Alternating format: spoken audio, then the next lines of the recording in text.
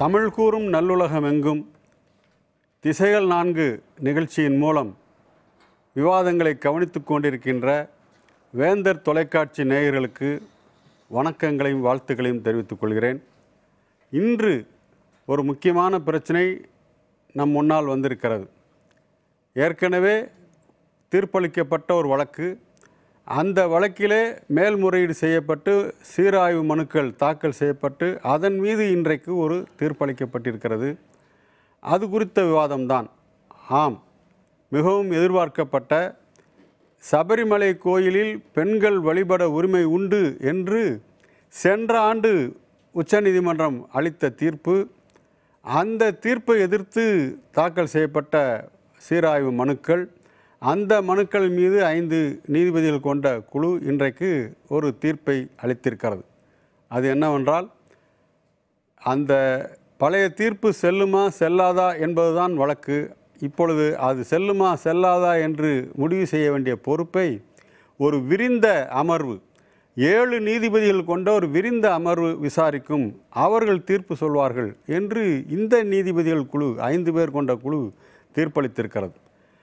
இது குறித்து தான் இன்றைக்கு நாம் விவாதிக்க இருக்கிறோம். இந்த- இந்த பொருளில் தங்களுடைய கருத்துக்களை இங்கே பதிவு செய்வதற்காக இங்கே பத்திரிகையாளர் கோலாகல சீனிவாசன் அவர்கள் வந்திருக்கிறார்கள். பாரதிய ஜனதா கட்சியினுடைய செய்தி தொடர்பாளர் வழக்கறிஞர் கனிமொழி அவர்கள் வந்திருக்கிறார்கள். பத்திரிகையாளர் ராமகிருஷ்ணன் அவர்கள் வந்திருக்கிறார்கள். இவருடைய கருத்துக்களோடு சேர்ந்து உங்களுடைய சிந்தனைகளையும் உரசி பார்க்க கேட்டுக்கொண்டு இப்பொழுது முதலில் சீனிவாசன் சார் உங்கள்கிட்ட தான் தொடங்கலான்னு இருக்கிறேன். அதாவது இப்போ ஐந்து பேர் கொண்ட இந்த நீதிபதிகள் குழு இதில் ஒரு தீர்ப்பை வழங்கிவிடும் ஏன்னா கிட்டத்தட்ட அந்த ஏற்கனவே உள்ள தீர்ப்பு அதன் மீதான ஏற்பட்ட பிரச்சனைகள் சர்ச்சைகள் இன்னும் சொல்லப்போனால் கலவரங்கள் எல்லாம் நமக்கு தெரியும். இந்த பின்னணியில் இது ஒரு அடுத்த கட்டத்திற்கு நகர்வதற்கு வசதியாக ஒரு இறுதியான தீர் திட்டவட்டமான தீர்ப்பு வந்துவிடும் என்று எதிர்பார்க்கப்பட்ட சூழலில் இப்படி ஒரு ஏழு பேர் கொண்ட அமர்வுக்கு இது மாற்றப்பட்டிருக்கிறது. அப்படி ஏழு பேர் கொண்ட அமர்வுக்கு மாற்றப்பட்டதில் எப்படிப்பட்ட தாக்கங்கள் இருக்கும் என்று நீங்கள் நினைக்கிறீர்கள்? அது முதல்ல த்ரீ டு டூ அப்படிங்கிற மாதிரியே அவங்க ஒரு கருத்து ஒற்றுமைக்கு வந்து லார்ஜர் பெஞ்சுக்கு அதை கொண்டு போகிறாங்க இப்போ இதில் என்ன அப்படின்னாக்க ஸோ இன்னமும் அந்த தரப்பட்ட தீர்ப்புக்கு எதிரான ஒரு தீர்ப்பை பெறுவதற்கான வாய்ப்பு இன்னமும் இருந்து கொண்டிருக்கிறது அப்படிங்கிற ஒரு நம்பிக்கையை ட்ரெடிஷ்னலாக இருக்கக்கூடிய ஐயப்ப பக்தர்கள்ட்ட இது கொண்டு வந்து வச்சிருக்கு. ஒன்று ஆனால் அதே நேரத்தில் அது லார்ஜர் எதுக்கு இப்படி கொடுத்துருக்கிறதுனால அதே நேரத்தில் முந்தைய தீர்ப்புக்கு வந்து எந்த ஸ்டேயும் இல்லாததுனால இந்த தீர்ப்பினுடைய தன்மை அந்த ஸ்டேட்டஸ்கோ தொடரும் என்கிற ஒரு விஷயம் இருக்குது அதனால் பெண்கள் இப்போவும் நுழையலாம் என்பதும் இருந்து கொண்டிருக்கிறது. ஒரு பக்கம் பக்தர்கள் வந்து எதிர்காலத்தில் ஒருவேளை இன்னும் டைம் இருக்குது எதிர்காலத்தில் ஒருவேளை இந்த தீர்ப்பு வந்து திரும்ப பெறப்படலாம் நல்லிஃபை ஆகலாம். ஒரு இன்னும் கொஞ்சம் அவகாசம் அவர்களுக்கு கொடுத்துருக்கு. அந்த பக்தர்களுக்கு ஒரு அவகாசத்தை கொடுத்துருக்கு. அதே நேரத்தில் பெண்கள் நுழைவதை தடுக்க முடியாது. அப்படிங்கிற அந்த ஸ்டேட்டஸ்கோவும் இங்கே இருக்குது ஸோ இந்த இரண்டுமே கலந்த ஒரு நிலை தான் இதுக்கு மத்தியில் ரொம்ப முக்கியமான விஷயம் என்னென்னா நாளைக்குலேருந்து அங்கே மண்டல பூஜை ஆரம்பம். இப்போவே வந்து திருப்தி தேசாய் சொல்லிட்டாங்க நான் வந்து சபரிமலைக்கு போக போகிறேன் அப்படின்னு சொல்லி சொல்லிட்டாங்க. ஸோ திரும்பவும் தலைவலி பினராயி விஜயனுக்கு ஆரம்பம். இது ஒன்று இது இது வந்து ஒரு சீனரியோ இன்னொரு சீனரியோ என்னென்னா நம்ம நினைவு கொண்டு வரணும் தமிழ்நாடு எலெக்ஷன் கேரளா எலெக்ஷன் ஒரே டயத்தில் தான் நடந்தது. இன்னும் ஒன்றரை வருஷம் தான் அங்கே எலெக்ஷன் இருக்குது ஏற்கனவே நடந்து முடிந்த ஜெனரல் எலெக்ஷனில் இடதுசாரிகள் மிக மோசமான தோல்வியை அடைந்திருக்கிறார்கள். அப்படிங்கிறப்ப இதுக்கு முன்னால் இந்த விஷயத்தில் காட்டின அதே தீவிரத்தை அதே நிலைப்பாட்டை பினராயி விஜயன் கை கொள்ளுவாரா அப்படிங்கிறது எனக்கு டவுட் இருக்குது ஏன்னா அரசியல் ரீதியான மதியுகத்தோடையும் அவர்கள் நடந்து கொள்ள வேண்டிய ஒரு கட்டாயம் இருக்குது ஏன்னா ஒன்றரை வருஷத்தில் எலெக்ஷன் இருக்குது ஒரு தப்பாக எதையும் செஞ்சிடவும் கூடாது. அப்படிங்கிறப்போ ரொம்ப நீக்கு இது அரசியல் ரீதியாகவும் சரி எல்லா நிலையிலும் ரொம்ப நீக்குப்போக்காக நடந்து கொள்ள வேண்டிய ஒரு ரொம்ப ட்ரிக்கி சுச்சுவேஷன் ஒன்று இந்த தீர்ப்பு கொடுத்துருக்கிறது. ஆக ஒன்றே ஒன்று தான் இன்னும் ஃப்ளூயிடாக இருக்குது எதுவும் முடியலை. எப்படியாகவும் முடியலாம். அப்படிங்கிற ஒரு இடத்தை நோக்கி இது தள்ளப்பட்டிருக்கு. அது இடது முன்னணி அரசை பொறுத்த வரைக்கும் இரண்டு நாட்களுக்கு முன்னால் கூட அதனுடைய அமைச்சர் எங்கள் ஏற்கனவே இதில் எங்களுடைய நிலைப்பாடு என்னவோ அதில் நாங்கள் உறுதியாக இருக்கிறோம். ஆனால் உச்சநீதிமன்றம் என்ன தீர்ப்பு சொல்லுகிறதோ அதை நாங்கள் செயல்படு ஏற்கனவே அந்த முடிவு தான் அந்த முடிவை தான் ஆ, இப்பொழுது என்ன தீர்ப்பு வருதோ அதன் அதற்கேற்ப எங்கள் அரசு முடிவெடுத்து செயல்படும் என்று சொல்லியிருக்கிறார். அதே போல் இந்த இன்றைக்கு வந்திருக்கிற இந்த தீர்ப்பை பற்றி கூட மார்க்சிஸ்ட் கம்யூனிஸ்ட் கட்சியுடைய அரசியல் தலைமைக்குழு உறுப்பினர் பிரகாஷ் காரத் அவர்கள் எங்களுடைய நிலைப்பாடு என்பது பெண்களுக்கான அந்த உரிமை அவர் எந்த பிரிவை சேர்ந்தவளாக இருந்தாலும் பெண்களுக்கான அந்த அடிப்படையான வழிபாட்டு உரிமை என்பது உறுதிப்படுத்தப்பட வேண்டும் என்பதுதான் எங்களுடைய கருத்து. ஆனாலும் ஏழு பேர் கொண்ட அமர்வுக்கு மாற்றப்பட்டு விட்டதால் அவருடைய தீர்ப்பு வரும் வரைக்கும் காத்திருக்கத்தான் வேண்டியிருக்கிறது என்று ஒரு கருத்து சொல்லியிருக்கிறார் இதை சொல்லியிருக்கிறேன். அந்த ஏழு பேர் கொண்ட அமர்வுக்கு வந்து சபரிமலை இஷ்யூ மட்டும் போகல. அது தாண்டி மூணு இஷ்யூ கூடுதலா அவங்க சேர்க்கிறாங்க. அதாவது மசூதிக்குள்ள பெண்கள் நுழைவதற்கான உரிமை அப்புறம் பார்சி சமூக பெண்கள் வந்து அவர்கள் கோயிலுக்கு செல்வதற்கான உரிமை அப்புறம் இது போரா முஸ்லீம் அவங்க வந்து பெண்ணின் பிறப்புறுப்பை சமய ரீதியில் சிதைப்பது அப்படிங்கிறத தடுப்பதற்கான விஷயம். இந்த மூன்றும் சேர்த்து அந்த லார்ஜ் பெஞ்ச் விசாரிக்கும் அப்படின்னு. ஸோ ஒரு ஒரு நிறைய இஷ்யூஸை கிளப் பண்ணி கொண்டு போறாங்க. ஆமாம் அதான். அதான் பிரகாஷ் காரத்துடைய அறிக்கையில் அதுதான் சொல்ல மென்ஷன் பண்ணுறார் என்ன எந்த பிரிவை சேர்ந்தவளாக இருந்தாலும் பெண்களுக்கான உரிமைகள் உறுப்ப உறுதிப்படுத்தப்பட வேண்டும் அப்படின்ற கருத்து அவருடைய வழக்கம் அதுதான் நான் நினைக்கிறேன். இப்போ மேடம் நீங்கள் சொல்லுங்கள் இப்போ இந்த அவரும் சொன்னார் என்னென்னா ஏற்கனவே வழங்கப்பட்ட தீர்ப்பில் பெண்களுக்கு இந்த வழிபாட்டு உரிமை உண்டு அந்த சபரிமலை கோயிலில் அப்படிங்கிற அந்த தீர்ப்பில் எந்த மாற்றமும் செய்யப்படலை. அது நிறுத்தி வைக்கப்படலை. ஏன்னா அப்படி அதோட அர்த்தம் என்னவென்றால் அது அந்த தீர்ப்பு தீர்ப்பாகவே இருக்கிறது. அது ஒரு அப்படி யாராவது பெண் அந்த கோயிலுக்குள் நுழைய விருப்பப்பட்டால் அவர்களுக்கு உரிய வசதிகள் அல்லது பாதுகாப்புகள் செய்யப்பட்ட வேண்டும் என்பதுதான் அர்த்தம். ஆனால் இதற்கிடையில் உங்கள் கட்சியை சேர்ந்த பலரும் சமூக ஊடகங்களில் பார்க்க முடிகிறது. அது மாதிரி ஊடகங்கள் கேட்குற கேள்விக்கு பதில் சொல்லுகிற போது சில பிஜேபி தலைவர்கள் என்ன சொல்கிறார்கள் இது எங்கள் நிலைப்பாட்டுக்கு கிடைத்த வெற்றி என்று சொல்கிறார்கள். அவரோட நிலைப்பாடு என்பது பெண் அந்த பாரம்பரியமான அந்த நம்பிக்கைப்படி பெண்கள் அனுமதிக்கப்படக்கூடாது என்பதுதான். தான் அப்படி ஒரு முடிவுக்கு வந்துவிட முடியுமா? ஏன்னா இப்போ இந்த ஏழு பேர் கொண்ட குழு என்ன சொல்ல போகிறது என்பது இனிமேதான் நமக்கு தெரிய போகிறது. அப்படி என்கிற போது அதற்குள் இப்படி எங்களுடைய நிலைப்பாடு கிடைத்த வெற்றி தான் என்று சொல்வதன் மூலம் எதை என்ன சொல்ல விரும்புகிறார்கள்? நீதிமன்றம் எங்கள் விருப்பப்படி செயல்படுகிறது என்ற போன்ற ஒரு தோற்றத்தை ஏற்படுத்த முயல்கிறார்களா? நிச்சயமாக இல்லை. அந்த மாதிரியான இல்லை. அவர்கள் வந்து நீதிமன்றத்தில் வந்து இன்னைக்கு வந்து இந்த அமர்வு வந்து சொன்னப்போ ஐந்து பேர் கொண்ட உச்சநீதிமன்ற நீதிபதிகள் அமர்வு சொன்னப்போ வந்து அனைத்து மதத்தினரும் அவர்களது மத நம்பிக்கையை கடைபிடிக்க உரிமை உள்ளது அப்படிங்கிற ஒரு வார்த்தையை சொன்னாங்க. அப்படின்னு நீங்கள் பார்த்தீங்கன்னா இந்து சமூகம் என்பது நமது நமது இந்தியா பல் பன்முக கொண்ட பன்முகத்தன்மை கொண்ட ஒரு தேசம். அதில் வந்து எந்த ஒரு மதத்தினரையும் யாரும் ஒதுக்கிவிட முடியாது. எல்லா மக்களுக்கும் ஒரு மனிதன் இந்த சமூகத்தில் பிறந்தால் அவனுக்கு உள்ள உள்ளார்ந்த உரிமையை அவன் எந்த மதத்தில் பிறந்தாலும் நாம் கொடுக்க வேண்டும். அதுதான் நமது கடமை. அதுதான் நமது மனித உரிமை. நமது உள்ளார்ந்த உரிமையும் கூட அதுதான். அந்த ரீதியாகத்தான் அவர்கள் சொல்லியிருப்பார்களே தவிர அதை சொல்லலை. சார் சீனிவாசன் சார் சொன்ன மாதிரி இன்றைக்கு இந்த அரசியல் சாசன அமர்வு ஐந்து பேர் கொண்ட நீதிபதிகளிலிருந்து ஏழு பேர் கொண்ட நீதிபதி முன்றால் வந்து மாற்றப்பட்டிருக்கிறது. சீராய்வு மனுக்கள் இன்னும் நிலுவையிலேயே தான் இருக்கும் என்றும் சொல்லியிருக்கிறார்கள். அதே மாதிரி அனைத்து பெண்களையும் கோவிலுக்குள் சொல்லக்கூடிய அந்த உத்தரவு அப்படியே அமலில் இருக்கும் என்று சொல்கிறார்கள். நான் இந்த இடத்துல ஒரு கருத்தை நான் என்னுடைய நான் பாரதிய ஜனதாவின் நிலைப்பாட்டாக நான் என்ன சொல்கிறேன் அப்படின்னா இதில் வந்து பாலின பாகுபாடுங்கிற வார்த்தைக்கு இடமில்லை. நீங்கள் சொ குறிப்பிட்டு சொல்கிற போது இந்நிகழ்ச்சியின் இப்போ நீங்கள் சொன்னீங்க மரியாதைக்குரிய பிரகாஷ் காரத் அவர்கள் வந்து சொன்னார் அனைத்து பெண்களுக்குமான உரிமையை நாங்கள் நிலைநாட்டி கொடுப்போம் அப்படின்னு.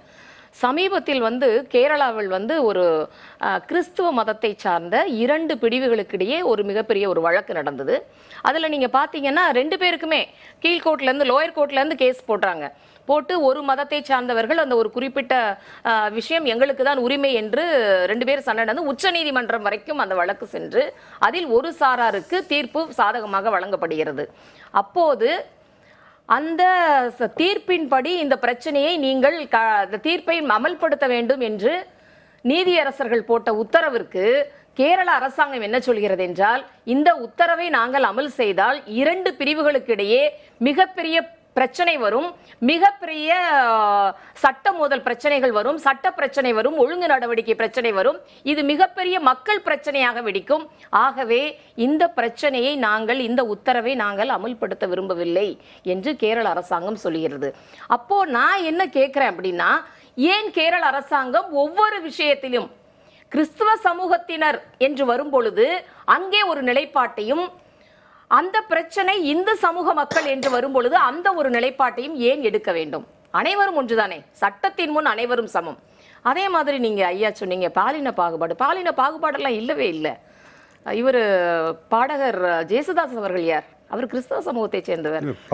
பாகுபாடு வேறு மத இல்ல இல்ல நான் சொல்றேன் இப்ப அது ப- ஐயப்பன் சபரிமலை கோயில்ல வந்து எந்த விதமான பாகுபாடுமே இல்ல ஐயா. இது வந்து நான் பின்னாடி நீங்க கேட்கிறப்ப அதுக்கான அதற்கான விளக்கம் நான் சொல்கிறேன். கண்டிப்பாக எந்த விதமான கடவுளின் முன்னால் அனைவரும் சமம். இதை நாங்கள் கண்டிப்பாக வரவேற்கிறோம். போகக்கூடாது என்பதற்கு ஏனால் இந்து மதம் என்பது பல ஆகமங்களையும் பல ஆச்சாரங்களையும் உள்ளடக்கியது. அந்த ஒரு விஷயங்களுக்காக தான் சில கட்டுப்பாடுகளை விதிக்கிறார்களே தவிர தயவு செய்து இதை ஓட்டு வங்கி அரசியலோடு சம்பந்தப்படுத்தி பார்க்க வேண்டாம் என்பதுதான் எனது தாழ்மையான கருத்து.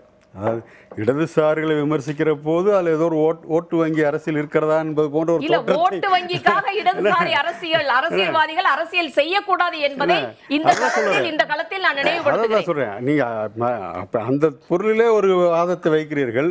ஆனா இன்னொரு பக்கத்தை இது ஓட்டு வங்கியாக இல்லையா? இல்ல இல்ல. உங்கள் மேல். எனக்கு மிகுந்த மரியாதை. இல்ல உங்களின் மேல் எனக்கு மிகுந்த மரியாதை இருக்கிறேன்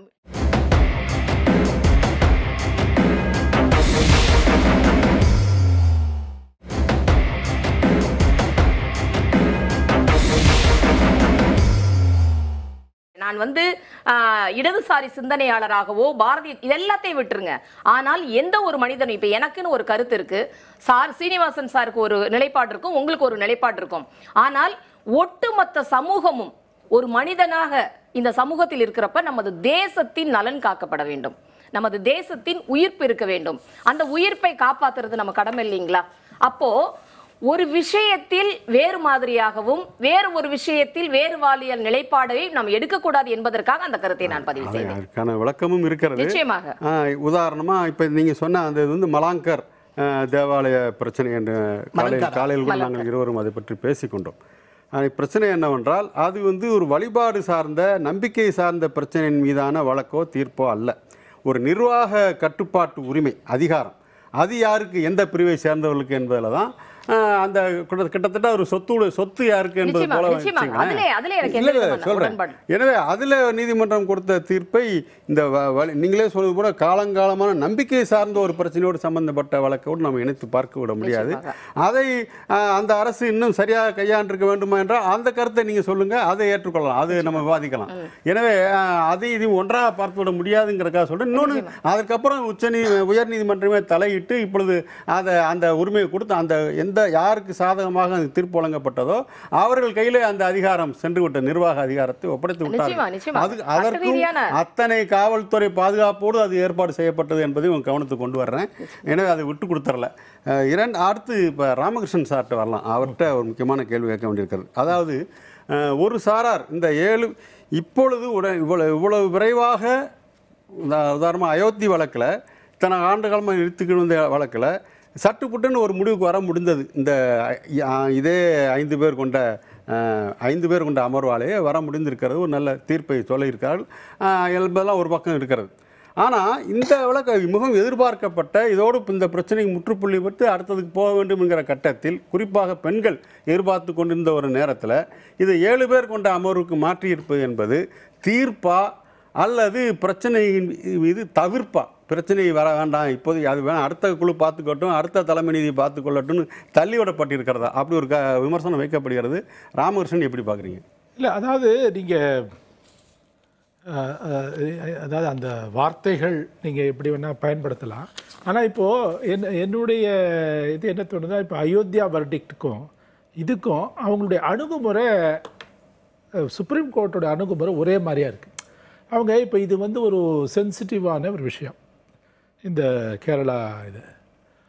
இது லாஸ்ட் இயர் அதை இம்ப்ளிமெண்ட் பண்ணுவேன் அப்படின்னு சொல்லி அந்த அரசாங்கம் செஞ்சாங்க போனாங்க. ரைட் ஓகே ரூல் ஆஃப் என்ன சொல்ல ரூல் ஆஃப் லா அதெல்லாம் நீங்கள் அதெல்லாம் ரைட் தட்ஸ் ஃபைன் பட் அப்புறம் வந்து ஸோ அது அப்புறம் அதுக்கான ஒரு என்ன மாதிரியான ரியாக்ஷன்ஸு இந்த மாதிரி ப்ரொட்டஸ்ட்டு இதெல்லாம் வந்துச்சு. அப்புறம் அதுக்கு எதிர்மறையான ப்ரொட்டஸ்ட்டு ப்ரோக்ராம்ஸ் எல்லாம் பண்ணாங்க. இப்போது இந்த சமயத்தில் சுப்ரீம் கோர்ட் இந்த இதில் வந்து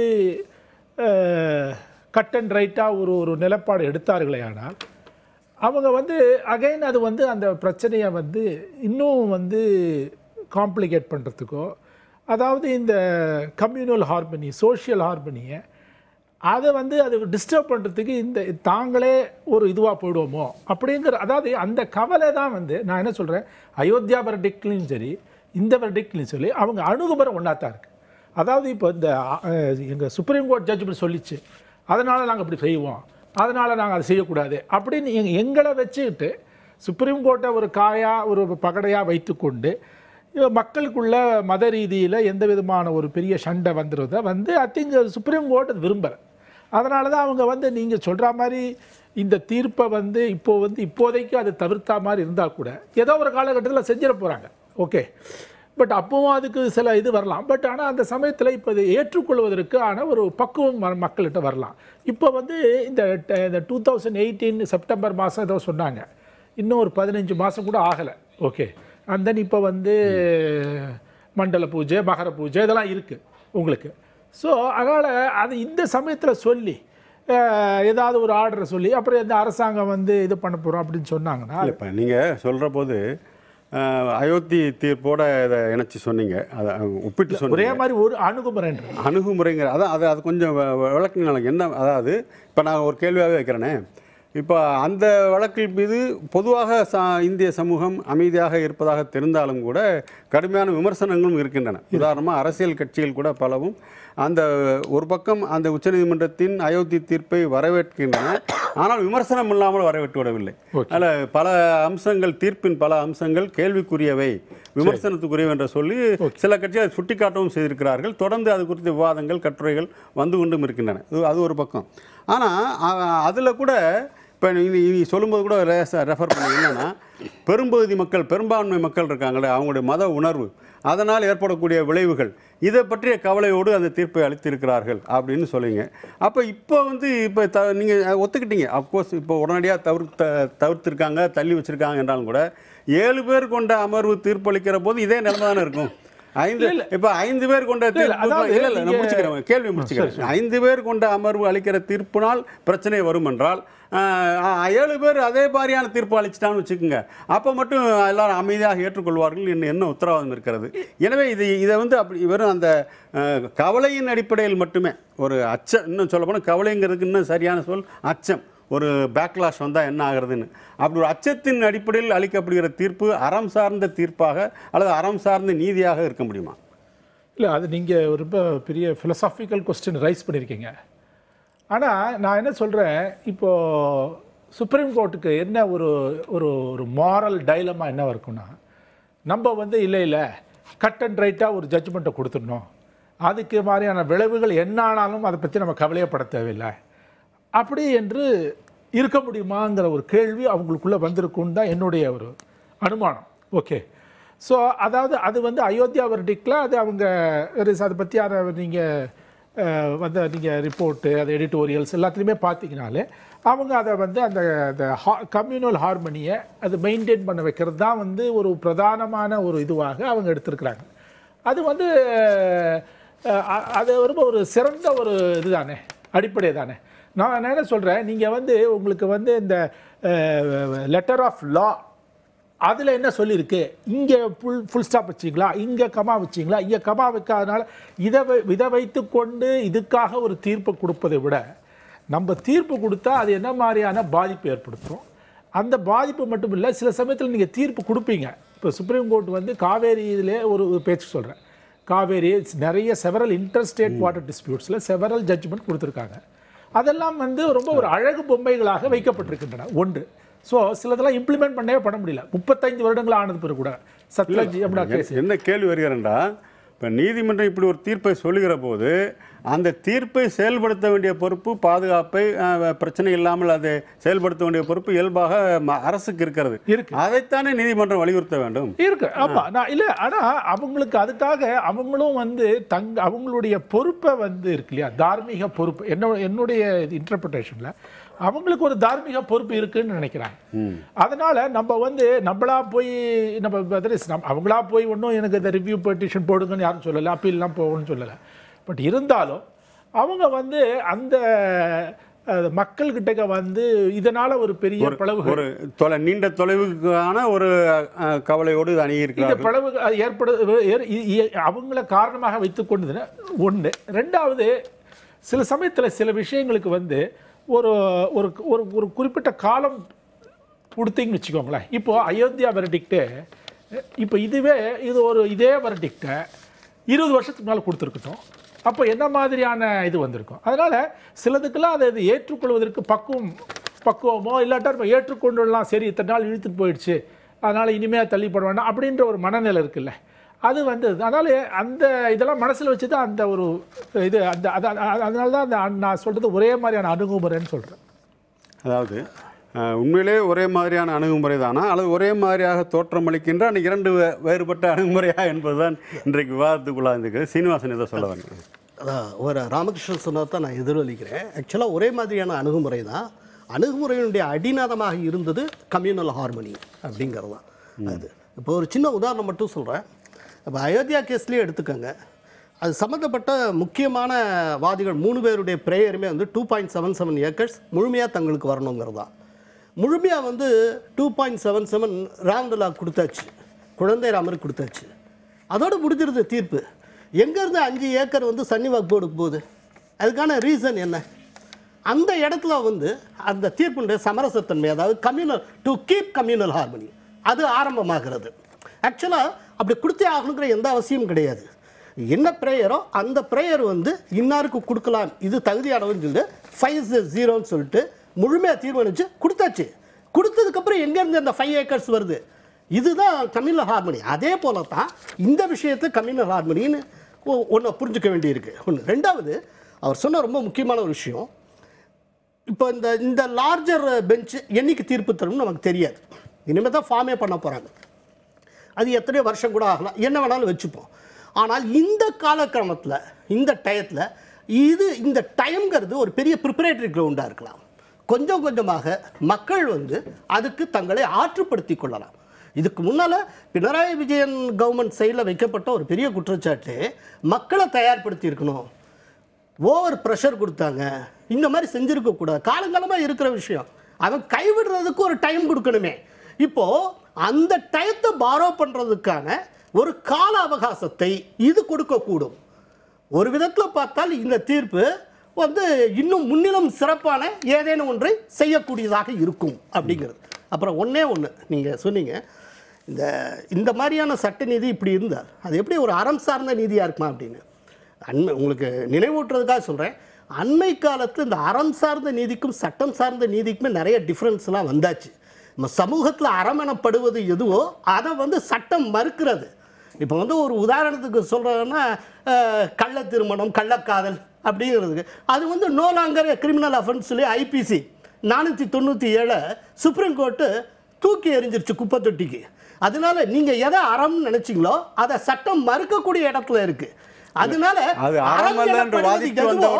அதை வந்து சட்டம். எதிரொலித்துக் கொண்டே இருக்கணுங்கிற அவசியம் இல்லை. நம்ம கண்ணால பார்த்திருக்கோம். அதுக்காக சொல்றேன். அதையும் இதையும் போட்டு நம்ம குழப்பிக்க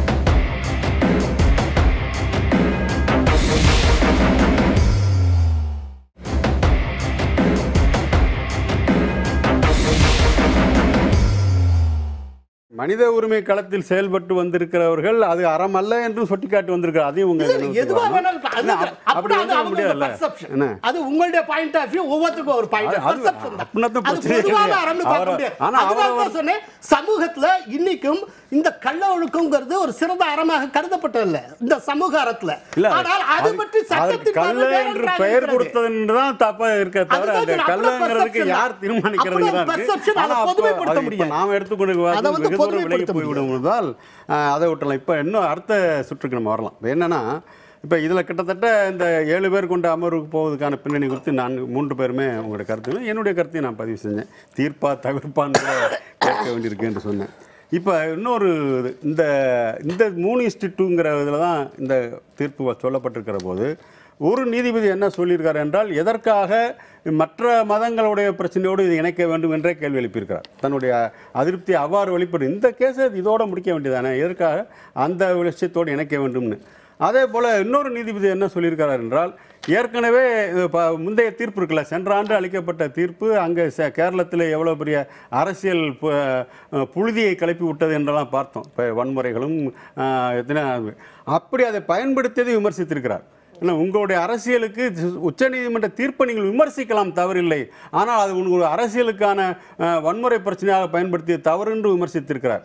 அதையும் மனசில் வச்சுக்கிட்டு தான் நம்ம அணுக வேண்டியிருக்கிறது. இப்போ என்னுடைய கேள்வி என்னவென்றால் இப்போ ஏற்கனவே உள்ள அந்த உத்தரவு தொடரும் என்பதை இப்போ தெளிவுபடுத்தியாச்சு. ஏன்னா அது அது இவங்களோட கோரிக்கையில் ஒன்று இறுதி தீர்ப்பு வருகிற வரைக்கும் அதை நிறுத்தி வைக்கணும் அதை ஸ்டே பண்ணணும்னு ஸ்டே பண்ணுறதுக்கு உச்சநீதிமன்றம் மறுத்துருச்சுங்கிறத நம்ம புரிஞ்சுக்கிறோம்.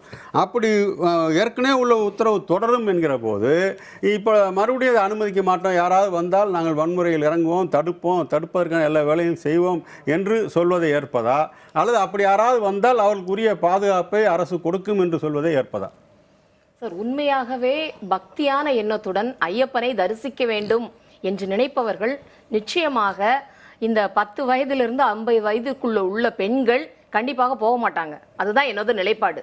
உண்மையாகவே மற்ற இருவரும் சொன்ன மாதிரி இந்தியா என்பது பன்முக மீண்டும் மீண்டும் நான் வலியுறுத்தி சொல்கிறேன்.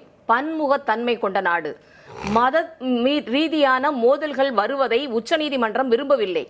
மீண்டும் நமது இந்தியா அமைதியான பூங்கா அமைதி பூங்காவாக இருக்க வேண்டும் என்பதற்காகத்தான் இந்த வார்த்தைகளை எந்த அயோத்தி தீர்ப்பாக இருக்கட்டும் எந்த தீர்ப்பாக இருக்கட்டும் சொல்கிறார்கள். ஒவ்வொரு மனிதனுக்கும் அவனுடைய மதம் சார்ந்த வழிபாட்டு உரிமைகளை பின்பற்றுவதற்கு உரிமை உள்ளது என்று சொல்கிறாங்க. அப்போ நீங்கள் வந்து இந்த இடத்துல நீங்கள் பார்க்கணும். அதாவது நீங்கள் ஐயப்பன் கோவிலை மட்டும் எதுக்கு நீங்கள் குறி வைக்கிறீங்க?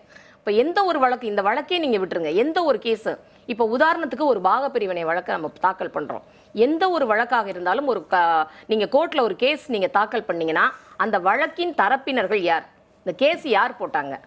ஸோ அந்த கேஸ் ரெண்டாவது பாயிண்ட் என்னன்னா எதுக்காக அவங்க போட்டாங்க? அந்த வழக்கை தொடுத்ததற்கான நோக்கம் என்ன? லோக்கல் ஸ்டாண்டி இந்த மூணு தான் சார் மெயின் ஒரு கேஸ் போட்டாங்கன்னா அப்போ இந்த கேஸில் நீங்கள் பார்த்தீங்கன்னா நௌஷத் அகமது கான்கிறவர் போடுறாரு. சரிங்களா? அவருடைய நோக்கம் என்ன? அப்போ நான் பொதுவாக சொல்றேன். இதே அவர் தன் சமூகம் சார்ந்த பெண்களுக்காக ஒரு வழிபாட்டு உரிமையை பெற்றுத்தருவதற்காக முதலில் அவர் வழக்கு தொடர்ந்து அதிலே வெற்றி கண்டு அந்த பெண்களுக்கு உரிமையை பெற்று தந்த பிறகு இதை அவர் வந்திருந்தால் உண்மையாகவே அவர் பாலின பாகுபாடை களைய வேண்டும் என்று நான் சொல்கிறேன் என்று சொன்னால் நான் ஏற்றுக்கொள்கிறேன். அதை அவர் செய்யல. அப்ப உண்மையான பக்தி எங்க இருக்கு? ஒண்ணுமே இல்லை. உன்னை ஒ- ஒரு ஒரு பிரச்சனையை வைத்து அதை வந்து நீங்கள் பிரச்சனை பண்ணக்கூடாது. உண்மையான பக்தியை விட்டுவிட்டு ஒரு பிரச்சனையை ஏற்படுத்த வேண்டும் அடுத்த மதம் சார்ந்தவர்களின் மனதை புண்படுத்த வேண்டும் என்று யாருமே நினைக்கக்கூடாது. இந்துவாக இருப்பவர்கள் கிறிஸ்தவத்தின் மீதோ இஸ்லாத்தின் மீதோ அல்லது இஸ்லாத்தில் இருப்பவர்கள் கிறிஸ்தவத்தில் இருப்பவர்கள் இந்து மதத்தின் மீதோ யாரும் எந்த மதத்தின் மீதும் வெறுப்பையோ காழ்ப்புணர்ச்சியோ காட்டக்கூடாது என்பதுதான் பாரதிய ஜனதா கட்சியின் நிலைப்பாடு. இப்ப நீங்க இந்த மதத்தை சொல்றீங்க இந்த கோவிலை மட்டும் நீங்க சொல்றீங்க அதுதான் நான் சொல்றேன் திரும்ப வலியுறுத்துறேன். உண்மையாக பக்தி கொண்டவர்கள் உண்மையாகவே ஐயப்பன் மீது ஒரு பக்தி நிலைப்பாடு உள்ளவர்கள் கண்டிப்பாக கோவிலுக்கு போக மாட்டார்கள். அதுவும் நீங்க சொன்ன மாதிரி சீனிவாசன் சார் சொன்ன மாதிரி கார்த்திகை மாசம் உங்களுக்கு வந்து பூஜை ஆரம்பிச்சது. நான் தொடங்க போகுது. அப்ப வேண்டுமென்றே பிரச்சனையை ஏற்படுத்த வேண்டும் என்று உள்நோக்கம் கொண்டவர்கள் மட்டும்தான் இதை செய்வார்களே தவிர உண்மையாக பக்தி உள்ளவர்கள் செய்ய மாட்டார்கள். இதை எதற்கு சொல்றேன் நான்? கேரளால இது மட்டும் இல்ல ஆற்றுக்கால் பகவதி என்று ஒரு கோவில் உண்டு. அங்கே வந்து நீங்க பாத்தீங்கன்னா வருடம் தோறும் பெண்கள் மட்டுமே வந்து பொங்கல் வைத்து வழிபடுவார்கள். அங்க நீங்க பாத்தீங்கன்னா ஆண்களுக்கு அனுமதியே கிடையாது. ஆண்களுக்கு அனுமதியே கிடையாது. அது என்னன்னா இந்த மதுரையை எரித்த பிறகு கண்ணகி அவர்கள் கடைசியாக அங்கே சென்று தன்னை ஆற்றுப்படுத்தினாள் என்று சொல்லுவார்கள். அந்த விழாவிலே கூட கண்ணகியின் வரலாறும் அவருடைய கண்ணகியினுடைய வாழ்க்கை வரலாறும் பாடலாக பாடப்படும் பாடப்பட்டு கொண்டிருக்கிறது இது ஐதீகம். அப்ப நீங்க அங்க பாலின பாகுபாடுன்னு நீங்க உரிமை தோஷம் போட்டீங்களா? ஏன் ஆண்கள் போகக்கூடாதுன்னு நீங்க ஏன் கேஸ் போடல? அப்போ நீங்க இதை மட்டும் சபரிமலையை மட்டும் வைத்து செய்வது ஏதோ ஒரு உள்நோக்கத்தின் அடிப்படையில் செய்வது போன்ற ஒரு தோற்றத்தை ஏற்படுத்துகிறது அல்லவா. அது நிச்சயமாக தவறு. யாராக இருந்தாலும் தவறு. தொடர்பாக தொடுக்கப்பட்ட வழக்கிலே சென்ற ஆண்டு அந்த நீதிபதிகள் கொண்ட அந்த நீதிபதிகள் அளித்த தீர்ப்பு ஒருவர் மட்டும்தான் மாறுபட்டார் மீதி. நான்கு நீதிபதிகள் ஒத்த கருத்தோடு பெண்களுக்கு அனுமதி அளிக்கப்பட வேண்டும் என்று தீர்ப்பளித்தார்கள் அந்த நான்கு நீதிபதிகளுக்கும் உள்நோக்கம் இருப்பதாக நீங்கள் சொல்கிறீர்களா இல்ல நிச்சயமாக உள்நோக்கம் இல்லை சார் உள்நோக்கம் இல்லை என்ன நிச்சயமாக இல்லை. வெளியே ஒருத்தர். உள்நோக்கம் நீதிமன்றம் சொன்னா உள்நோக்கம் இப்ப? நீங்க வந்து சொன்னீங்க இப்ப நான் என்னுடைய கோவில மட்டும் நாங்க சொல்லல. மசூதியில நீங்க எடுத்துக்கிட்டீங்கன்னா ஒரு நிமிஷம் சார் மசூதியில நீங்க எடுத்தீங்கன்னா ஒரு குறிப்பிட்ட எல்லைக்கு மேல நீங்க வந்து பெண்கள் போக கூடாதுன்னு இருக்கு அதை நான் மதிக்கின்றேன் ஏனென்றால் அவர்களுக்கு என்று ஒரு சம்பிரதாயம் இருக்கிறது. அதை நீங்க விட்டுட்டு நான் எல்லாமே சமம். நான் எல்லா இடத்துலயும் போவேன் நம்ம சொல்ல முடியாது. அரை நூற்றாண்டு காலமாக இந்த நடைமுறை சபரிமலை கோவிலிலே பின்பற்றப்பட்டு கொண்டிருக்கிறது. அதாவது என்ன சொல்வார்கள் என்றால் சபரிமலை ஐயப்பனை நைஷ்டிக பிரம்மச்சரி என்று சொல்வார்கள். சரிதானே சீனிவாசன் சார்? என்று சொல்லுவார்கள். அது என்ன சாதாரண பிரம்மச்சரியம் என்பதற்கும் நைஷ்டிக பிரம்மச்சரியம் என்பதற்கும் பெண்களை ஏறெடுத்து கூட பார்க்காதவர் என்று சொல்லுவார்கள். அப்படி இருக்கின்ற ஒரு யோக நிலையில் இருப்பதாக மக்கள் அரை நூற்றாண்டுகளுக்கு மேலாக நம்பப்படுகின்ற ஒரு தெய்வத்தை தயவு செய்து நீங்கள் ஒரு ஓட்டு அரசியலுக்காக பாலின பாகுபாடு கருத்து சுதந்திரம் இப்படியெல்லாம் என்ற ஒரு போர்வையை போர்த்தி தயவு செய்து மக்களிடையே குழப்பத்தை ஏற்படுத்த வேண்டாம் என்பதுதான் எனது தாழ்மையான கருத்து. இது போன்ற விவாதங்கள் வருகிற போதெல்லாம் உங்கள் ஆட்கள் திரும்ப திரும்ப வ- ஓட்ட அரசியல் ஓட்ட அரசியல்ங்கிற வார்த்தையை பயன்படுத்துகிறீர்கள் ஓட்ட அரசியல் தான் நோக்கம் என்றால் இயல்பாகவே பெரும்பான்மை மக்கள் எந்த பக்கம் இருக்கிறார்களோ அந்த பக்கம் சார்வது கேள்வி முடிச்சு. முடிச்சுக்கிறேன். என்ன பெரும்பான்மை மக்கள் எதை நம்புகிறார்களோ அதன் பக்கம் நிற்பது தானே அவருடைய வாக்குகளை பெறுவதற்கு உதவியாக இருக்கும். இதற்கு அவருக்கு எதிரான ஒரு நிலைப்பாட்டை எடுத்தால் அது எப்படி ஓட்ட அரசியலாக மாறும் அப்படிங்கிற அந்த கேள்வி வைக்கிறேன். இப்போ அடுத்து நீங்கள் ஒன்று கேட்டீங்க. அந்த வழக்கை தொடுத்தவருடைய முஸ்லீம் பெயரை சொல்லி அதுதான் பிரச்சனையா? ஏன்னா அவர் ஒன்றும் தனிப்பட்ட முறையில் வழக்கு தொடுக்கல. முடிச்சுக்கிறேன் முடிச்சுக்கிறேம்மா. ஏன்னா அவர் வந்து அந்த இளம் வழக்குரைஞர் அமைப்பு அந்த அமைப்பின் சார்பில் அது அது- அதன் தலைவராக அந்த நேரத்தில் அவர் தான் தேர்ந்தெடுக்கப்பட்டிருக்கிறார். அவர் அந்த வழக்கை தொடுக்கிறார். அந்த இடத்துல யாராக இருந்திருந்தாலும் எக்ஸ் ஒய் அவர் கிறிஸ்டியனாக இருக்கலாம் ஒரு சீக்கியராக இருந்திருக்கலாம் ஒரு பார்சியாக இருந்திருக்கலாம் எந்த மத நம்பிக்கை இல்லாத ஒருத்தர் கூட இருந்திருக்கலாம். அந்த அந்த நேரத்தில் யார் தலைவராக இருந்தாங்களோ அவர் அந்த சங்கத்தின் சார்பாக வழக்கு தொடுத்துருக்காருன்னு பார்க்கணுமே தவிர அவர் பெயர் பின்னால் ஒரு முஸ்லீம் பேர் இருப்ப இங்கே அப்படி தான் சில பேர் சினிமாவில் வந்து அரசாங்கத்தை விமர்சிக்கிற ஒரு வசனம் வந்த உடனே அவருடைய ஒரிஜினல் கிறிஸ்டியன் பேர் என்னன்னெலாம் கண்டுபிடிச்செல்லாம் சொன்னாங்க. அதுபோல் இதை மாற்றலாமா அது ஆரோக்கியமானதான ஒரு கேள்வி வைக்கிறேன். இப்போ நான் ராமகிருஷ்ணன் என்ன ரொம்ப நேரம் இந்த அவர்கிட்ட இந்த ஒரு கொ- நீங்க கேட்டதுக்கு நான் இல்ல, பதில் உங்க உங்க சொல்லிடுறேன் சார். அடுத்த சுற்று வரும்போது நீங்க கண்டிப்பா சொல்லுங்க. ஆ, சரி. அஹ், ராமகிருஷ்ணன் சார் நீங்க சொல்லுங்க. அதாவது இந்த ஏற்கனவே உள்ள அந்த உத்தரவு தொடருங்கிற நிலையில திரும்ப திரும்ப இல்லை இல்லை இது வந்து எங்களுடைய நிலைப்பாட்டு கிடைத்த வெற்றி தான் என்பது போல மத்திய ஆளுங்கட்சியை சேர்ந்தவர்கள் கருத்து சொல்லிக் கொண்டு வருகிறார்களே. இது எந்த அளவிற்கு ஒரு நியா- நியாயமான தீர்ப்பு பெறுவதற்கான மனநிலையை உருவாக்க பயன்படும்? இல்லை அவங்க அதாவது இப்போது இப்போ ஒரு சுப்ரீம் கோர்ட் ஒரு ஜட்ஜ்மெண்ட் சொல்லியிருக்காங்க. இவங்க ஒரு அதாவது இவங்க நேரடியான பா one of the parties to the dispute இல்லாட்டாலும் கூட இவங்களும் இப்போ பாஜகவும் அவங்க இந்த கருத்தில் அவங்களுக்கு அவங்களுடைய இதை வந்து நிலப்பாடை ரொம்ப தீவிரமாக சொல்லிட்டு கொண்டு வருகிறார்கள். இன்னும் சொல்ல போனோன்னா காங்கிரஸுக்கும் பாஜகவுக்கும் எந்த இதில் பெரிய வித்தியாசம் இல்லை. இன்னி கூட ரமேஷ் சென்னித்தல் என்ன சொல்லியிருக்காரு? இப்போ இந்த ஸ்டே பண்ணலேங்கிறதுனாலயே நீங்கள் வந்து சன்னிதானத்துக்கிட்ட பெண்களை வந்து எஸ்கார்ட் பண்ணி கொண்டு போகக்கூடாது அப்படிங்கிற ஒரு இந்த இந்த சோ மெனி வேர்ட்ஸே சொல்கிறார் ஸோ இதை வந்து போலீஸோ அரசாங்கமோ இதை செஞ்சிடக்கூடாது. அப்படிங்கிறது. ஸோ அதனால் எதுக்கு சொல்ல வர அதனால் அவங்க பாஜகவோ அந்த நீங்கள் சொல்கிற அந்த மத்தியில் ஆளுகின்ற ஆட்சி தரப்பினர் சொல்கின்ற அதாவது அது அப்- இதுக்கு ரியாக்ட் பண்ணாமல் எப்படி இருப்பாங்க? இப்போ ரியாக்ட் பண்ணலைன்னா இவங்க ஏன் ரியாக்ட் பண்ணலை அப்படிங்கிறதுக்கு ஒரு வரும். அதனால் அது ஒரு ஒரு ரைட் அவங்களுக்கு அவங்களுக்கு ஒரு என்டைட்டில்மெண்ட் இருக்குது அவங்க இது அவங்களும் அந்த கருத்தை சொல்லுவாங்க. ஏன்னா இது மோரோவர் இது வந்து சபரிமலை இஷ்யூ வந்து அட்லீஸ்ட் சவுத் இந்தியாவில் இது மிகப்பெரிய ஒரு தாக்கத்தை ஏற்படுத்தியிருக்கின்ற ஒரு வழக்கு. ஓகே தீர்ப்பு. ஸோ அதில் வந்து பாஜக பேசாமல் இருந்துச்சுன்னு வச்சுக்கோங்க. ஸோ நாட்டில் சவுத் இந்தியா அதனால தான் நீ பேசலை. நார்த் இந்தியானா பேசியிருக்க மாட்டியா? அப்படின்னு அடிப்பாங்க. அதனால் வந்து அது இல்லை இப்போ இஷ்யூ பட் இப்போ என்னன்னா இப்போ நீங்கள் ஒரே ஒரு வந்து அதாவது இந்த என்ன அவங்க மேடத்துக்கிட்ட பேசும்பொழுது கேட்டீங்க பெட்டிஷன் போட்டவங்கள மோட்டிவேட் புட் பண்ணுறீங்க பட் ஆனால் அவங்க சுப்ரீம் கோர்ட் ஜட்ஜ்மெண்ட் நாலு பேர் சொன்னாங்களே அதுக்கு இல்லை. அதில் பட் அகைன் நான் என்ன சொல்வேன்னா இந்த சுப்ரீம் கோர்ட் வந்து அவங்கள அப்ரோச் பண்ணியிருக்காங்க ஒரு ப இது பெட்டிஷனர் அதில் அவங்க ரைட்டோ ராங்கோ அவங்க சொல்கிறாங்க அதனால் நம்ம அதை வந்து நம்ம அதில் வந்து அவங்க ஏன் அந்த நிலப்பாடு எடுத்தாங்க? அந்த நிலப்பாடுக்கு எதாவது இருக்குமான நான் நீதிமன்றத்தை கேள்வி கேட்கல. அதற்கு ஒரு உள்ள இதை இவர்களுடைய வழக்கிற்கு வந்து தான் பெட்டிஷன் ஏதோ ஒருத்தர் எக்ஸ் ஆர் ஒய் அவங்களா முடிவு பண்ணி இந்த இஷ்யூவை எடுத்துட்டு ஏதோ ஒரு தலைபோற காரியமாக வச்சுட்டு அவங்க போறாங்க. அப்போ ஏன் அவங்களுக்கு அப்போ அப்போ அதுல அந்த மோட்டிவை அஹ், கேள்வி கேட்பதற்கு இவங்களுக்கு ஒரு நியாயம் இருக்குது ஆனால் ஜட்ஜ் ஜட்ஜஸ்க்கு வந்து இங்க கோர்ட்டுக்கு வந்துட்டீங்க. முக்கியமான மேட்டர் ரொம்ப ஒரு இது ஒரு இது ஒரு affecting sentiments of religious sentiments of people so அவங்க ஏதோ ஒரு நிலப்பாடு எடுத்தாங்க. அது ரைட் வராங்க பட் ஆனால் நான் என்ன உடனே என்ன சொல்லணும்னா இப்போ இந்து மல்ஹோத்ராவோட இப்போ இந்த மூணு இந்த த்ரீ மெஜாரிட்டியில் இன்றைக்கி இந்து மல்ஹோத்ரா இருக்காங்க. ஸோ அதனால் இது ஒரு சிக்னல் கூட கொடுக்கறது. அதாவது ஃப்யூச்சர் கோர்ஸில் இந்த வரும்பொழுது இப்போ வந்து இது எப்படி போகும் அப்படின்னு.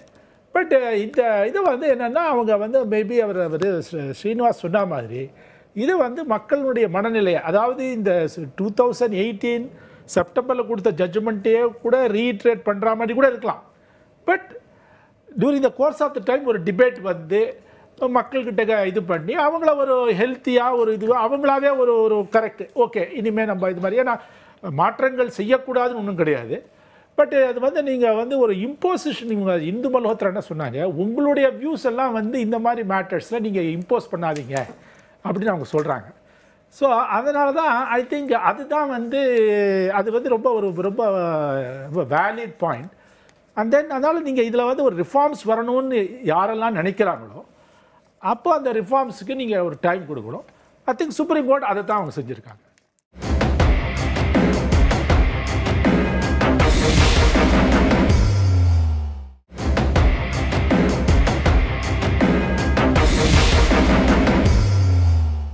அஹ் வாங்க உங்கள்கிட்ட ஒரு கேட்க அதாவது இப்போது வழிபாட்டு உரிமைகள் என்பது குறித்தும் இந்த தீர்ப்பில் மூன்று நீதிபதிகள் கருத்து சொல்லியிருக்கிறாங்க.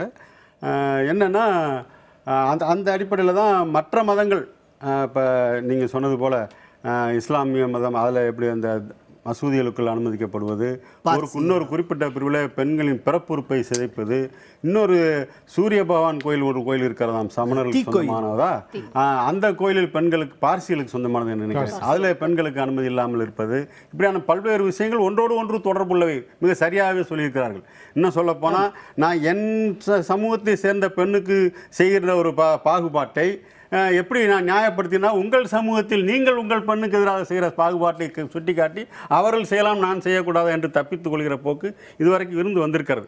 இதிலிருந்து மாறி அடுத்த நிச்சயமாக இந்த நாடு அடுத்த கட்டத்திற்கு போயாக வேண்டும்னு எத்தனை நிறைய சந்தித்தாகிவிட்டது மதத்தின் பெயரால்.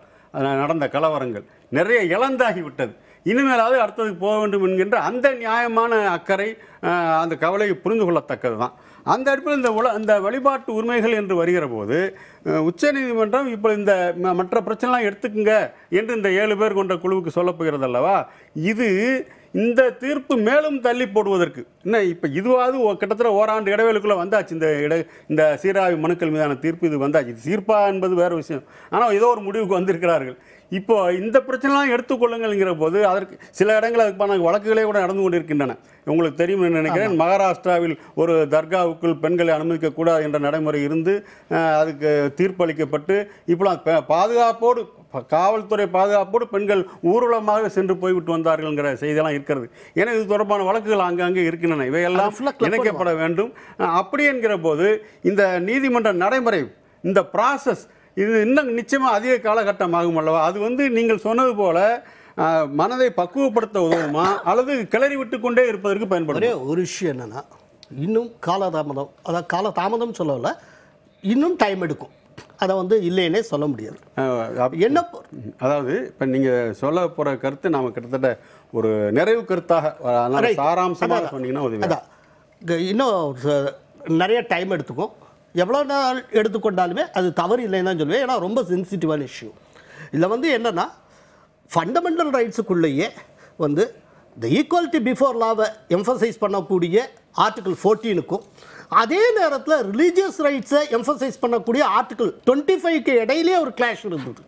இதைத்தான் இந்து மல்ஹோத்ரா ஆரம்பத்தில் தீர்ப்பின் போதே சொன்னாங்க. அவங்க தனிக்குரலாக ஒழிச்சப்போ வந்து இருபத்தஞ்சு கணக்கில் எடுத்துக்கா வெறும் ஃபோர்டீனுக்கு மட்டுமே இந்த தீர்ப்பு மதிப்பு கொடுத்துருக்கிறது அப்படின்னு. அப்படின்னா என்னுடைய ரிலீஜியஸ் ரைட்ஸ் என்னாச்சு? அப்படின்னு. ஒரு as a deity Sabarimala Ayyappan தன்னுடைய செலிபஸியை தன்னுடைய பிரைவசியை காப்பாற்றிக் கொள்வதற்கு சகல உரிமையும் பெற்றவர். இப்போ அவரை வந்து அங்கீகரிக்க வேண்டாமா? அப்படின்னு. ஆனால் அதே நேரத்தில் அயோத்தியில் தீர்ப்பு கொடுத்த பொழுது குழந்தை ராமர் வந்து தனி ஜுடிஷியரி பர்சனாகவே அங்கீகரிக்கப்பட்டார். ஆனால் அதே கோரிக்கையை பராசரன் இந்த விஷயத்தில் வைத்தப்போ அதாவது சபரி விஷயத்தில் நிராகரிக்கப்பட்டது. இப்படி பல்வேறு இஷ்யூஸ் இருக்குது இப்போ என்ன அப்படின்னா இதில் இந்த உரிமை சம்பந்தப்பட்டது அஹ், அதே நேரத்தில் இவங்களுடைய வழிபாட்டு நம்பிக்கை சம்பந்தப்பட்டதில் ரொம்ப ஒரு கிளியர் கட்டாக ஒரு லைன் வகுக்கிறதுங்கிறது மிகப்பெரிய சேலஞ்சாக இருக்கும். ஒரு சின்ன உதாரணம் சொல்கிறேனே நம்ம தமிழ்நாட்டில் நம்மளே பார்த்துவோம் தலையினால் வந்து நீங்கள் தேங்காய் உடைப்பாங்க நேர்த்தி கடன்ட்டு. அது பல பேருக்கு மண்டை உடையும் ரத்த ஒழியும். ஒரு விதத்தில் பார்த்தா மனித உரிமை மீறலும்பீங்க இன்னொரு பக்கம் இது அக்னியில் வந்து நடக்கிறது பூக்குழி இறங்குறது. இப்போ இதை என்னன்னு சொல்லுவீங்க? இப்போ இதை வந்து நீங்கள் ஒரு ஹியூமன் ரைட்ஸ் வயலேஷன் சித்தரித்து நீங்கள் இன்டர்பிரட் பண்ணோம்னா ஒரு சாமர்த்தியமான ஒரு வழக்கறிஞரை வந்து அதை ஒரு உச்சத்துக்கே கொண்டு போயிட முடியும். இப்படி அப்படின்னா இப்போ இதெல்லாம் பற்றி நீங்கள் என்ன பண்ண போகிறீங்க இதே போல் ஒவ்வொன்றா பார்த்துக்கிட்டு போனீங்கன்னா இந்தியாவில் வந்து நூற்றுக்கணக்கான விஷயங்கள் இருக்கும். இப்போ இதெல்லாம் உள்ளடக்கி எப்படி வந்து ஒரு டிமார்க்கெட் பண்ண போகிறாங்க இது எப்படி? அதனால நிச்சயமாக இந்த வரக்கூடிய தீர்ப்பு ரொம்ப என்லைட்டண்டாக இருக்கும். ஒரு பெரிய சவால் நீதிபதிகளுக்கு காத்திருக்கிறது. கனிமொழி மேடம் நீங்கள் சொல்லுங்கள் நீங்கள் சொன்னீங்க எல்லா பெண்களுக்குமான தடையெல்லாம் இல்லை. குறிப்பிட்ட வயதுகளில் உள்ளவங்களுக்கு தான் இந்த தடை. அதுவும் காலங்காலம் இருந்து வருவதால் தான் அப்படிங்கிற விஷயத்தை சொன்னீங்க. அதுவும் அந்த ஒரு கோயிலில் தான் இருக்குங்கிற அந்த விஷயத்தை சொன்னீங்க. இப்போ ஒரு டெக்னிக்கலாக நான் ஒரு கேள்வி வைக்கிறேன். உங்களுடைய பதிலை நிறைவு கருத்தாக சுருக்கமாக சொல்லுமாறுன்னு கேட்டுக்கொள்கிறேன். என்னன்னா வெறும் வயதின் அடி பத்து வயதுலேருந்து ஐம்பது வயதுங்கிற கணக்கு சரியா? இப்போ உதாரணமாக பெண்கள் வயதுக்கு வருவது என்பது பதிமூன்று வயது பதினான்கு வயது கூட சில நேரத்தில் ஆகிறது. அப்போ அந்த அதை கணக்கெடுப்பதா? எப்பொழுது வயதுக்கு வந்துகிறாளோ அதிலிருந்து கோயிலுக்கு வருவதை நிறுத்திக் கொள்ளுங்கள் என்று சொல்வதா? அதே போல் ஐம்பது வயதுக்கு மேல் அறுபது வயதுக்கும் வரைக்கும் கூட அந்த மெனோபாஸ் கட்டத்தை அடையாத பெண்கள் உண்டு. அப்படின்னா அவர்களுக்கு அனுமதி உண்டா? வெறும் வயதுங்கிறது மட்டும் நிர்ணயிப்பது என்பது செயற்கையாக இல்லையா? அப்படிங்கிற ஒரு கேள்வி வைக்கிறேன். இதில் இந்த அடிப்படையில் இப்போ நான் இன்னொரு கேள்வி உங்களோட சேர்த்துக்கு நான் வைக்க விரும்புகிறது என்றால் மதம் தன்னை மாற்றிக்கொண்டதே இல்லையா? மதத்தின் பல்வேறு சடங்குகளை மட்டும் நான் சொல்லலை. பல ந நடைமுறைகளையே சொல்கிறேன். உதாரணமாக ஒரு காலகட்டத்தில் ப- ப- கணவன் இறந்து விட்டால் அவனுடைய உடலோடு சேர்த்து மனைவி உயிரோடு கொளுத்துகிற சடங்கு மத நம்பிக்கையின் பேரால் தான் இருந்து வந்தது. அதை ஒழித்து கட்டிய போது மக்கள் அதை ஏற்றுக்கொள்ளவில்லையா? மதம் தன்னை சீரமைத்துக் கொள்ளவில்லையா? இதுபோல சில மாற்றங்கள் வருவது இந்த நல்ல ம- அந்த மதத்தின் மீது மக்கள் மேலும் மரியாதையோடு பற்றுக்கொள்வதற்கும் த- நெ- நெ- நெறிகளோடு இணைந்து இணக்கமாக வாழ்வதற்கும் தானே உதவி செய்யும். வெறும் சடங்குகள் பிடித்துக்கொண்டு தொங்குவது எந்த அளவுக்கு சரியாக இருக்கும்? நிச்சயமாக மதம் என்பது மனிதனுடைய அறநெறியை வளர்ப்பதற்காக தான் மதம். அறநெறியை ஒழுக்கத்தை வளர்ப்பதற்காக தான் மதம். இந்த உடன்கட்டை ஏறுதல் என்பதெல்லாம் வந்து ஒரு சமூக மூட பழக்க வழக்கங்கள். அதையும் நீங்க மத சம்பிரதாயத்தோட நீங்க இணைச்சு பார்க்க முடியாது. மதத்தின் பெயரால் இருக்கின்ற ஆச்சாரங்கள் நம்மளுடைய நம்பிக்கைகள் காலம் காலமாக கடைபிடித்து வருகின்ற நம்பிக்கைகள் என்பது வேறு. இப்போ நீங்கள் சொன்னீங்க அதே மாதிரி மாநில அரசுக்கு எப்படி வந்து ஒரு கடமை நம்ம உரிமையை வந்து அரசாங்கத்தில் கேட்குறோம் நமக்கும் ஒரு உரிமை கடமை இருக்குது அந்த கடமையை நம்ம நிறைவேற்ற அதே மாதிரி ஒவ்வொரு மாநில அரசும் பக்தர்களின் வழிபாட்டு ரீதியிலான உரிமையை காப்பது அந்த மாநில அரசின் உரிமையாகவும் இருக்கிறது. ஆக இதே மாதிரி நீங்க வயது ஒரு பிரச்சனையா சொன்னீங்க. வயது வயது அந்த காலகட்டத்தில் பத்து வயதுல இருந்து ஐம்பது வயது என்பது அந்த காலகட்டத்தின் முதிர்ச்சி. ஆனால் இப்போது வளர்கின்ற தொழில்நுட்பம் சிறு குழந்தைகளுக்கிடையேயான உடல் ரீதியான வளர்சிதை மாற்றங்கள் இந்த வயதிலே வித்தியாசத்தை ஏற்படுத்துகின்றன சுருக்கம் நிச்சயமா. அதாவது இந்த வயது வரம்பு என்பது ஆயிரத்தி தொண்ணூத்து ஆயிரத்தி தொள்ளாயிரத்தி தொண்ணூத்தொன்னில் உயர்நீதிமன்றம் வழங்கிய ஒரு தீர்ப்பில் அடிப்படையில் வந்தது வந்து நிறைய மாறுபாடு நடைமுறையில் நிறைய ரீசன்ஸ் இருக்கு. ஆனா அவங்களுடைய மெயின் கண்டென்ஷன் என்னன்னா அதாவது 48 நாட்கள் ஒரு மண்டலம் விரதம் இருந்து பூஜை முடிக்கணும். அந்த விரதத்தை இந்த இல்ல நான். என்ன. சொல்றேன்? ஆர்டிகல் 14 வந்து இதுல வரவே வராது. அதாவது ஈக்குவாலிட்டி பிஃபோர் வந்து மறுக்கப்படுகிறது. அதற்குள்ள நம்ம வரவே இல்லை. ஏன்னா உதாரணமா பெண்கள் வருவதென்றால் கூட நீங்கள் முறைப்படி ஆண்கள் என்னென்ன பூசையெல்லாம் செய்து வருகிறார்களோ அந்த முறைப்படி வாங்க திடீர்னு ஸ்டண்ட் அடிச்சுட்டு வராங்கன்னு விஷயம். வயது ஐம்பது வயது. அந்த இடைப்பட்ட காலகட்டங்களில் வெறும் வயதுதான் கட்டமா? அல்லது ஏனென்றால் சொல்லப்பட்டதெல்லாம் அந்த வயதுக்கு வந்த பிறகு அந்த பெண்கள் அங்க வருகிற போது கோயில் தீட்டுப்பட்டு விடுங்கிற அந்த கர்ணத்தோட தான் இல்ல, இல்ல, அந்த சொல்லப்பட்டது காலகட்டங்களில் பெண்கள் முறையாக சில விரதங்களை அனுஷ்டானங்களை கடைபிடிக்க முடியாது என்பதற்காகத்தான் இந்த கட்டுப்பாடுகளை தவிர பெண்கள் வரக்கூடாது சொல்லணுங்கிறது என்பது தான் என்னோட கேள்வி. ஆ, இல்ல பெண்கள் வரக்கூடாது என்பது அது ஒரு அது அப்படி சொல்லவே இல்ல நிச்சயமா, கோயில்.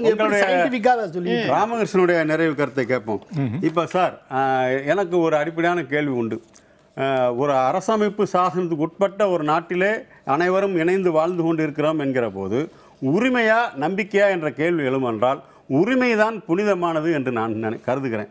ஏனென்றால் இன்னும் சொல்லப்போனால் இந்த புனிதம்ங்கிற வார்த்தையெல்லாம் கொஞ்சம் ரிலீஜியஸ் வேர்டு எனக்கு தெரியும். ஏன்னா ஆனாலும் கூட அந்த வார்த்தையை நான் தயக்கம் இல்லாமல் பயன்படுத்துகிறேன். அதுதான் உன்னதமானது உரிமை தான் முக்கியமானது.